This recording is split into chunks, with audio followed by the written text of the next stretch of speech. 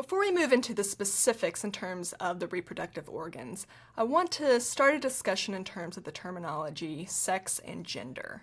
And you've probably heard both of these. You've probably heard both of these used interchangeably, and that's not really accurate. So we're going to talk about the differences there and why we're going to use the term sex when we're discussing these reproductive organs. So the reason that we're going to use the terminology sex in this discussion is because this is really described by what we refer to as biological sex or biological characteristics. And so let's think of some biological characteristics that would describe or uh, give an indication of the sex of an individual. So one thing that we can think of right off the bat is an individual's phenotype. And that includes not only, you know, what their hair looks like, what their eyes look like, um, the size of their body, but also in terms of the actual specifics of which organs this individual has. Another thing that you can look at is gamete size difference. So think about what a gamete is. We're going to have the testes, and we're going to have ovaries. And that will differ between individuals. Also, you're going to have chromosomal differences. So a lot of times we think of the XX and the XY. That's a sad little Y right there.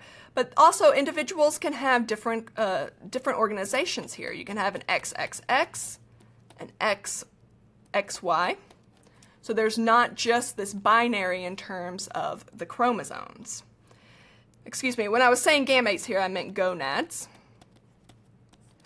Um, gametes, when we think about that, that's going to be the oocyte or the spermatozoa or the sperm. Now, while biological characteristics may lead to a gender identification, it certainly is not always the case.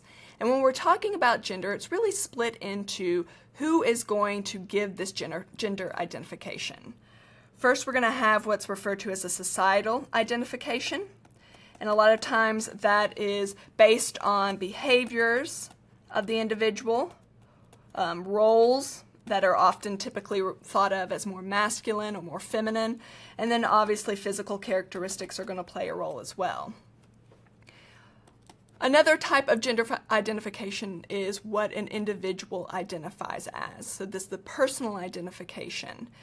And oftentimes they're go they can identify themselves as either cisgender, so male or female, or transgender. And this is what the individual personally identifies as, and in terms of whether that matches up with the societal identification or the biological sex, there's a lot of variation there. So I really welcome uh, a respectful discussion in the discussion boards uh, if there is any confusion in terms of that. In terms of this course, we're really going to focus on those biological characteristics. And we will be using the terminology male and female in terms of where that falls within the variation spectrum. But continue this discussion in the discussion boards, and I would be glad to, to chime in as well because this is a really important area to discuss.